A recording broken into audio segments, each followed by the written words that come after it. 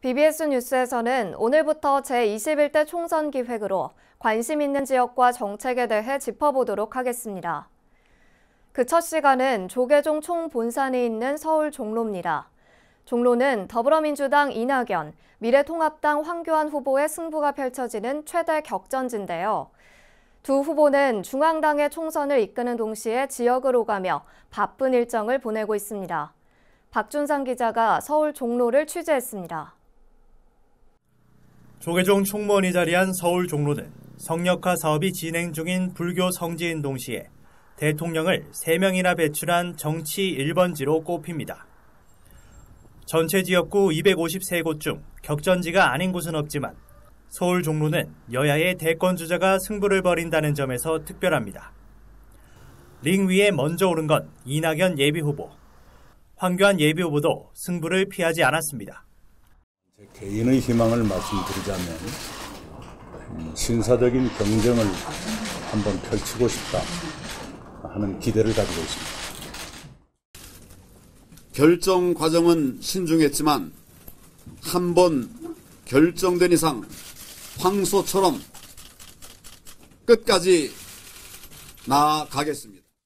전직 총리이자 각 당 선거를 총괄 지휘하는 수장들 간의 이른바 총총 대결이 성사되면서 서울 종로 총선이 곧 예비 대선이라는 말까지 나오고 있습니다. 어, 늘 진실하고 국민 앞에 겸손하게 어, 임해야 합니다. 어, 그건 선거 때뿐만 아니라 항시 예, 그렇게 하는 것이 당연한 도리지요.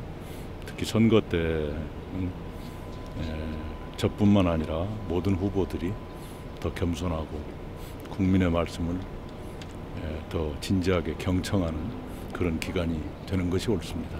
코로나19 사태로 대중이 모이는 선거운동을 할 수 없는 상황에서 두 후보는 인터넷 방송과 방역 봉사활동을 통해 주로 유권자들과 만나고 있습니다.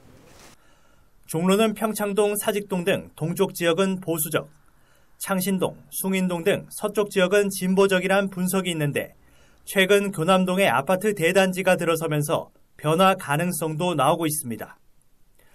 특히 조계종 총본산 조계사를 비롯해 조선조 4대 공가 종묘, 최대 관광지 인사동 등 다양한 전통문화 관광 인프라가 밀집돼 차별화된 공략도 주목되는 요소입니다.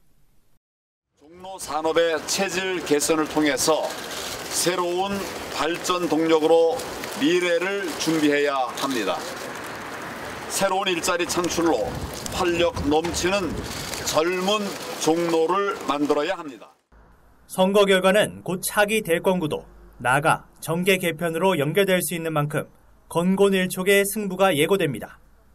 당에 대한 영향으로까지 파급되는 것이거든요.